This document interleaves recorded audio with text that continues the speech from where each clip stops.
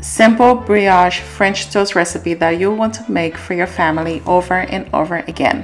Hey everyone, it's Marlene here with Savory Thoughts at savorythoughts.com. In this recipe, we're going to show you how to make this delicious brioche French toast recipe so you can make it for your family over and over again. Let's get started.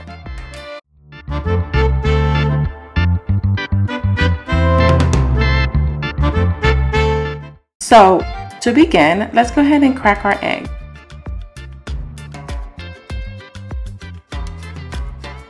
And for this, you'll need three eggs,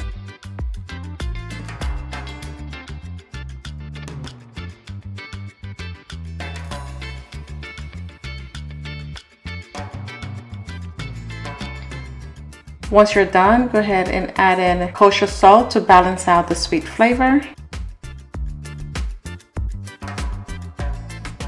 Next, add in your cinnamon powder.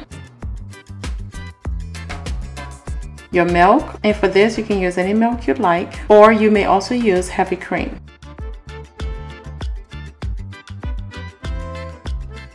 Go ahead and whisk that together and set it aside.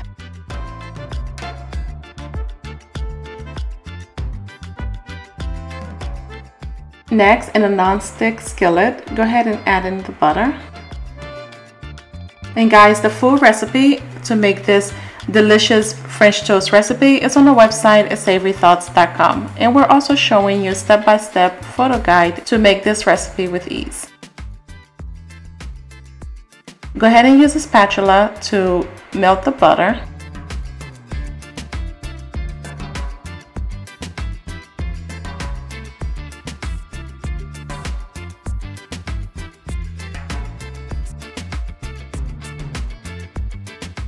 But before we start guys, when I'm making French toast, I like to toast the bread first and that's because it helps it not to have that eggy texture. So go ahead and toast your bread on both sides and once you're done, go ahead and start adding the bread to the egg mixture.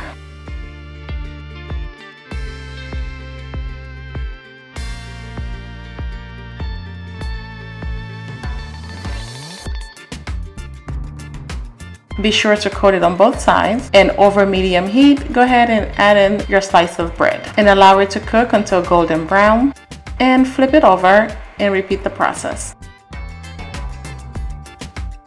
Once you're done, go ahead and put it aside and continue on with the remaining bread.